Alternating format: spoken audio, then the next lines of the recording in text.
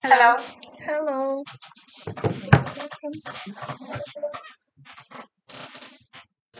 Okay. So, all right, if you're ready, we can start. Sure. Hello, dear viewers. Today, my guest is an incredible Georgian and Ukrainian politician, Khatia Dekanoidze. Hello, Khatia. Hello. How are you? I'm okay. And you? Thank you very much. More than 700 days have passed since the beginning of Russia's aggression against Ukraine. What do you assume about this? Well, I mean, first of all, this is very painful uh, because, um, I mean, observing uh, what you're going through and what Ukrainians are going through uh, after this barbaric uh, terrorist act uh, by Russia, uh, killing civilians, uh, killing and uh, deporting children, uh, Ukrainian children, uh, occupying territories, shelling just the civilians, hospitals, kindergartens. I mean, this is uh, this is a trail of Russia. This is how this terrorist uh, Kremlin always acts. And probably you are aware that in 2008, uh, Georgia also, uh, that 20% of Georgian territories also had been occupied by Russia. And 2008, uh, we experienced the same as you have been going through now. And personally, just, you know, for me, it's very painful, uh, you know, because I consider Ukraine as my second homeland. Uh, for Georgians, all over Georgia, it's very painful too. And, you know, just the Georgians are very, I mean, they express, and every day they express a huge solidarity to Ukrainians. Uh, and I do hope that the whole world and civilized world will be very um, in close coordination with Ukraine because what Ukraine needs right now is uh, armament, um, weapon, uh, help, assistance, uh, rehabilitation of the people, and renovation. And uh, I think that also just we have to consider as the, the powerful nations and the European Union and the United States also has to consider to really reimburse uh, the frozen Russian assets to Ukraine. So, I mean, overall, uh, it is uh, it is uh, not only for Ukraine. It's not the problem of Ukraine. It's not the problem of the region.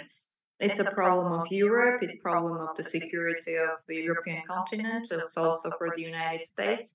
And helping Ukraine is not a charity. Helping Ukraine is like the investing in the security because everybody I don't know how the people just react and what is the how they think and what are the, the expectations they have. Uh, but in Europe, um, but I think that the leaders really consider that the, the right things. But I have to underline that they, if uh, uh, that uh, if Ukraine uh, will be defeated uh, and uh, Putin won't stop in Ukraine, I mean, he will go and he will go to Europe. So, I mean, everybody must realize that. So thanks to Ukrainians and Ukrainian soldiers and Ukrainian people, we now are in peace in the region. Mm, but uh, we have to consider how to help and how to really just uh, gain the victory for all us, um, for all of us, uh, very soon. Because we consider it's not only your fight; we consider it's only our fight too. Yeah, thank you for your words of support and definitely. Um, you were born in Tbilisi, in the capital. Who were your parents and what was your childhood like there? Oh, my parents, uh, yeah, I was born in Tbilisi, and uh, my parents and my family, they were just, they're just ordinary people. I mean, uh, uh my my father, uh, he passed away two years ago. My father was an engineer. My mother was a geophysics uh, engineer, and they worked very hard in order to uh, to really just get the, get the education for me and my brother. And uh, my childhood was like you know just very happy uh, when I was a child, but early nineties, you know, when I was a student and when I was in the high school, I mean, the situation was very dark in Georgia because of that. We had we experienced three wars. So, you know that the there was a Russian the Russia who inspired the war in um, Abkhazia and South mm-hmm. Ossetia, Trimalo region, and also we uh, went through the civil war in Georgia. And early 90s uh, was quite dark for us uh, because I mean because of those wars, because of our occupied territories, because a lot of IDPs like 300,000 IDPs, and Georgia is tiny country, and it's uh, those people who were just uh, kicked out of Abkhazia. They were just uh, their fate was very difficult also. And uh, after the collapse of Soviet Union, because of the corruption, because of this, you know, very dark days. I mean, uh, yeah, I mean, the early 90s was very, very, very difficult for our families, and they worked very hard. But overall, I'm happy that uh, I was part of my family, and uh, I'm happy that uh, they could, my parents uh, had been supporting me every stage of my life. You studied international relations and democracy and received your uh, bachelor's degree from Tbilisi State University in 1999. Have you always dreamed of such an education and profession? Uh, yeah, I mean, I got the bachelor degree and my diploma uh, was uh, honor in both in uh, Tbilisi State University. I, well, I mean, for for in 90s, it was very interesting though. I mean, because uh, I mean, working as a diplomat, uh, working as a um, uh, expert and a specialist on international law, um, just I considered and we considered this to be very interesting. And I think that it's very interesting also. But somehow, I mean, uh, I only worked as a diplomat for a couple of years because um, since 2004 I worked in the public sector. So I mean, as know, the criminal justice uh, in the criminal justice reform. So, but the, the, education I got, I mean, it's in my alma mater was uh, quite important for me, and those years were so happy. Um, you were working as a Georgian embassy in Washington, D.C. from 2005 mm-hmm. to 2007. Which experience did you gain while living and working in America? Well, I mean, it was very interesting because United States um, is and was uh, Georgia's number number one strategic partner, and uh, when you're working uh, with um, people, the decision makers in Washington, which is the capital of the free world, I can say. So it's very, very important. I mean, talking about uh, uh, the geopolitics, talking about the security issues, talking about the um, training uh, and equip of Georgian uh, Georgian uh, defense forces, uh, talking about the assistance we for the democracy and rule of law.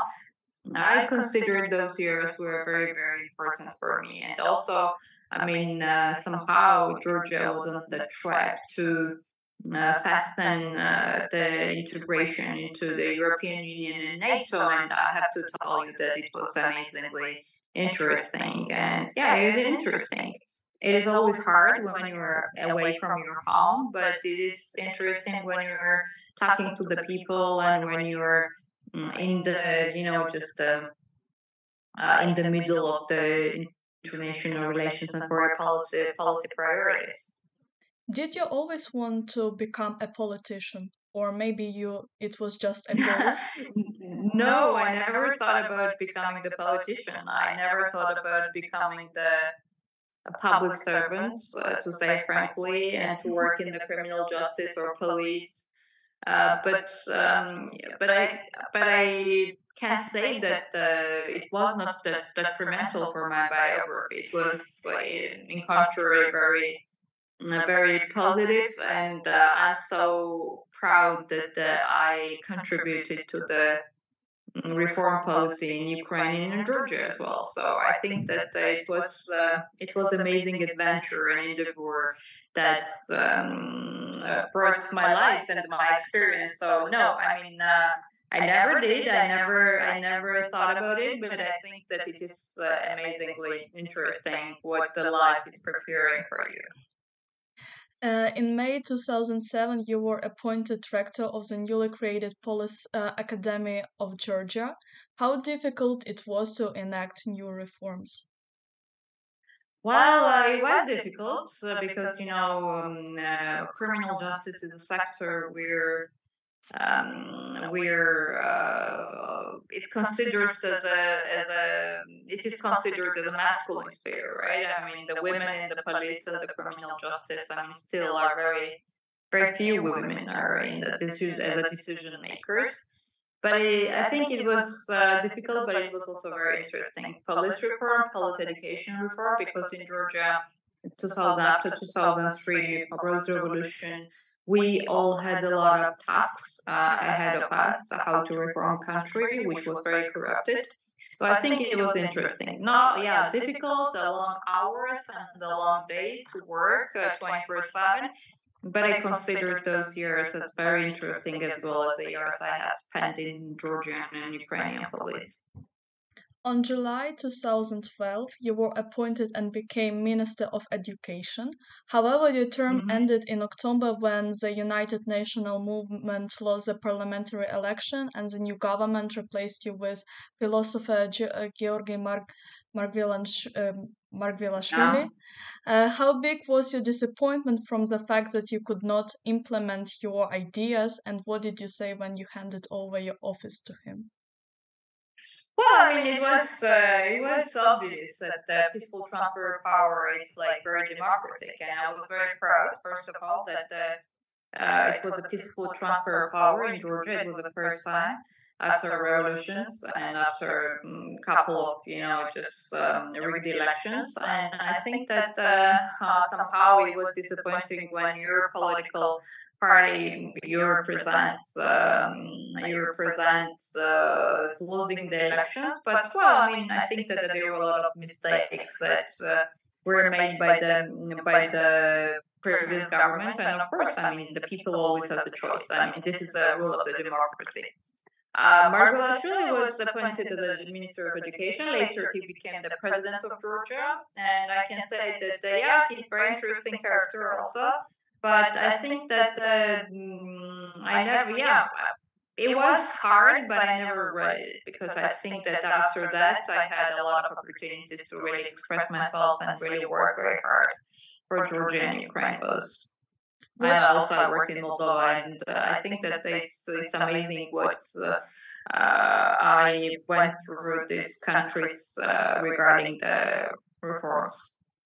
Uh, what relationship do you have with him? So we're good, uh, not friends, but I know him very well, and we have a very good, uh, you know, introduction back in 2012. And now, just we always just can have a um, cup of coffee and chat and have a good conversation. Okay, uh, Chief of Ukrainian Police. How big was your surprise when you were offered this high position, and who offered it to you, and what was your reaction? Well, it was a surprise, uh, but uh, before that, I worked. You know that I worked in the uh, criminal justice project for DOJ project uh, in Ukraine, Kiev.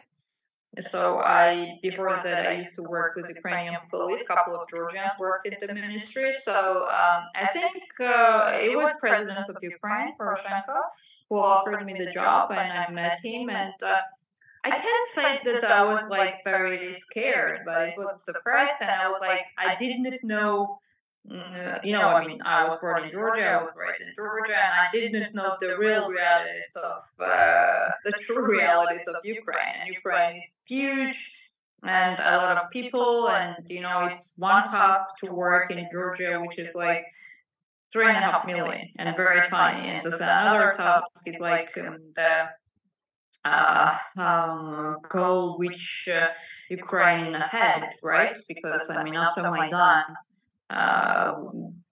we had to create the national force, national police, which uh, would be the institute for the people of Ukraine and not for mm, not for only the government. So I was surprised, uh, but I think that it was very probably one of uh, one of the most amazing experience I have ever had. and I'm very proud that the uh, the couple of uh, police officers uh, I know and I appointed as a, the police officers. I mean, they are uh, they work very hard and uh, they they are defending Ukraine right now. Uh, what is the difference between working in Georgia, Ukraine, and you also have mentioned that you work in Moldova, if I'm not mistaken? Uh, yeah. Well, uh, I think that uh, probably yeah, scales and the landscape and the people, and but you know, I mean, uh, the big difference there is no big difference. I mean, if you work hard and if you make decisions that you have to do, you have to make, and if you're uh, very straightforward and if you just uh, if you're not corrupted of course i mean i think that you will always do the right things uh, so um, I think that we all came from the Soviet uh, past, and what we all wanted is like to have this European future. And I think that the Europe is democracy and rule of law, first of all. So I mean, what mm, you have to do in this regard is like uh, uh, to strengthen the rule of law because if there is no free judiciary, no police, uh, which is not only obeyed to obeys to Ukrainian people or Georgian people, so I mean then nothing will happen. So I think that uh, despite the fact that uh, yeah, of course there are some differences, uh, I think that there are also a lot of similarities. What future do you want for Ukraine and for Georgia? Uh, excuse me, say again. What? Yeah. What future would you like Georgia ah. and Ukraine to have? Ah, future. Um, actually, I think that the future in European Union uh, and NATO. Uh, this is one, and I think that this is a mission, uh, and this is why Ukrainians are fighting so hard right now, and why they're dying for their future, for your future, and for the future of uh, our kids. Uh, and uh, for sure, Ukraine deserves the best, and Ukrainian people and Georgian people they deserve the best uh, to be the part of European Union, to be the part of NATO, to be protected, uh, to uh, have the freedom of, freedom of choice, and to be in the democracy, and to have the, to get the best education and to um, have the security. And of course, I mean, you know, when I think about it, and I think that, that there so many Ukrainian kids and the children that under the bombs and the shelling of Russian um, Shahed drones and uh, and rockets, and uh, it makes my heart bleeding because I mean this is very unfair.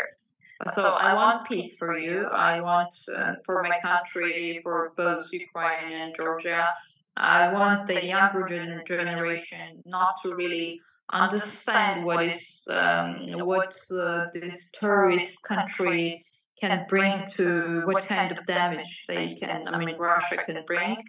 And I think that the freedom and the be the free countries in European Union and NATO, I think that this is a future I want for both countries. Yeah, so we hope it will happen like this, as you said. Of course, of course, of course, it will happen for sure. All right. Do you like any musicians or singers from Ukraine? Oh, um, yes, my favorite one of my favorite group is uh, Okean Elzy, uh, oh. which is uh, which uh, was my favorite group even when I was very young. I always uh, used to listen to them, mm, and personally, I know Mr. Vakarchuk also. He's amazing. And uh, I think that uh, probably, I mean, Elzy is one of the best rock group ever. I mean, I think this is uh, this is very Mm, very interesting that uh, you know I had this possibility to listen to to, to them you know in Ukraine. Cool. Do you? Ha- what is your favorite song from Okean Elzy? Uh, um, uh, this is like a couple of them. Uh, I have whole albums. Like mm-hmm. um, uh, I probably I might not remember the names uh, correctly, but I think that uh, Bez boyu is one of uh, my favorites. Um, uh, also, Holodno is one of my uh, favorite too, if I'm not mistaken. This is the name, uh, and a couple of others. I mean, I have a lot of a lot of uh, songs which I really like by Okean Elzy.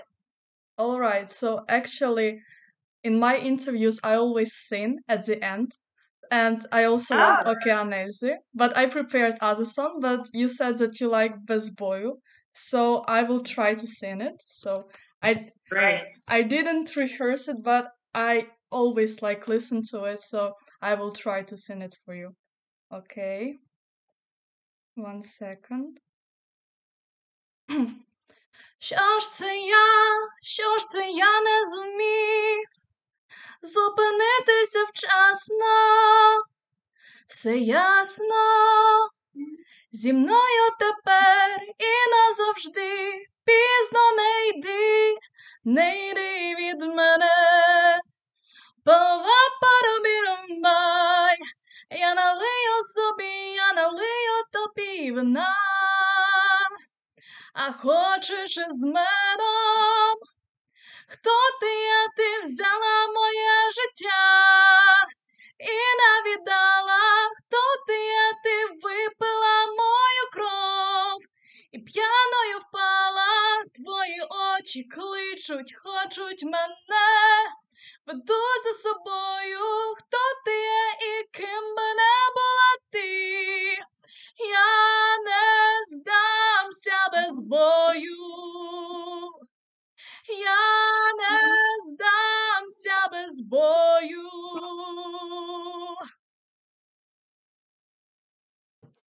That was amazing. You sing very well, by the way. Thank you very much.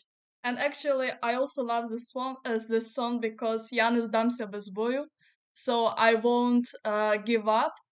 But uh, I Without won't the give up. fight. Yeah, yeah, without the fight. So it is also a very sim- symbolic song. So Absolutely, and I, I, I, yeah, I mean, they are very. Vakarchuk is amazing with talented, and they're very talented. So, and you're very talented too. Congratulations.